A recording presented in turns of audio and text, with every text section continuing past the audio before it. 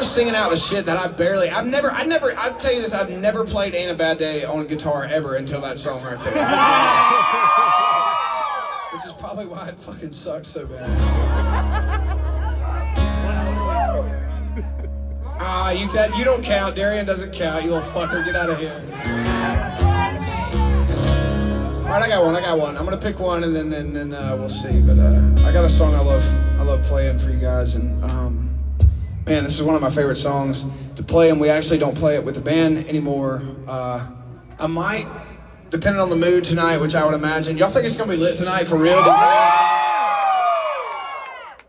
Well, then we'll, I might break it out acoustic again, but um, man, I love playing this song. It's one of my favorite songs I've ever written in my entire life.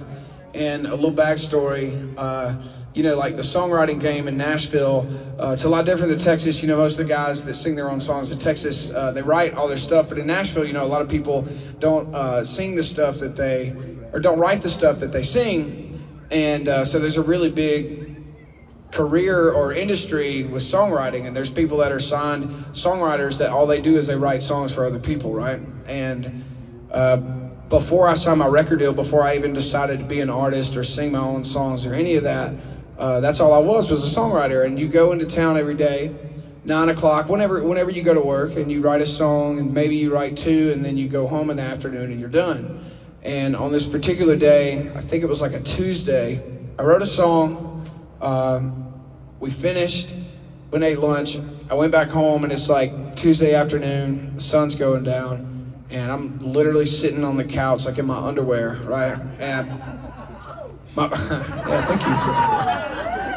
And my buddy calls me, uh, Jordan Schmidt, who's a big songwriter in Nashville. He calls me and he says, "Hey, come back into town. Let's write a song with uh, Ben, Ben Burgess, who you, I'm sure you guys have heard of."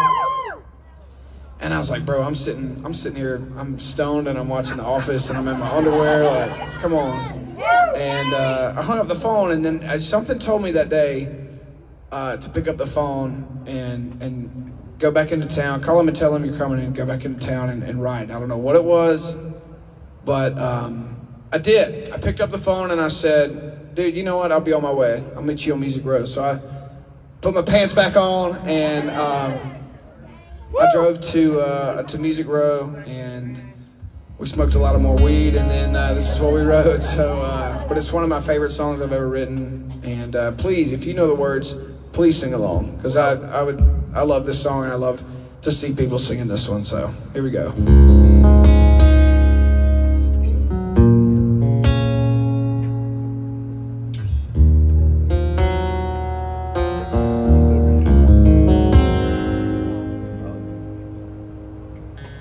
Third shot down, I'm in trouble. I'm a newly single man, seeing double.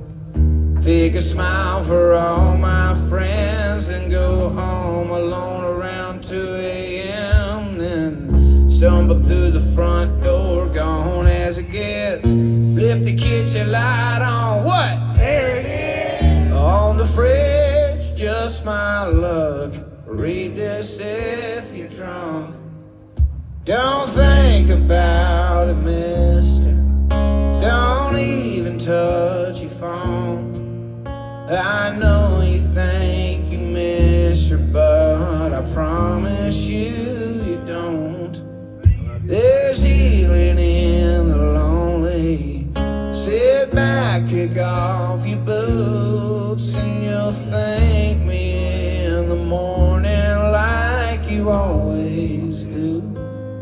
Sounds so good. You guys sound so fucking good. Let's go.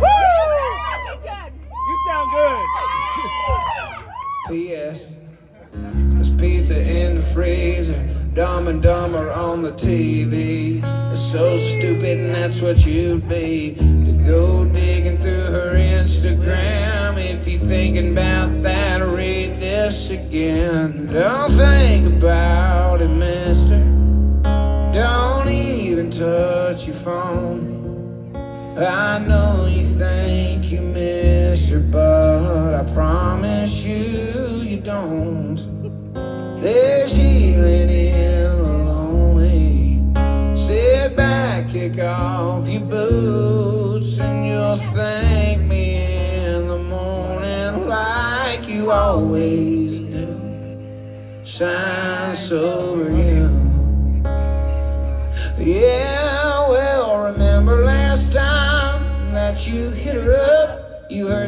Heard some other guy. How much does that suck? That set you back a month. Yeah, trust me, old friend, you don't wanna go down that road.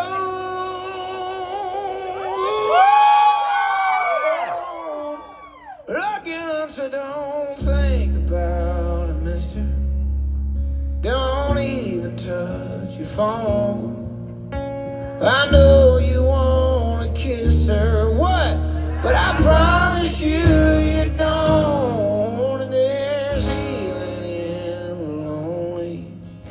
Sit back, kick off your boots, and you'll thank me in the morning like you always do. Signed sober you.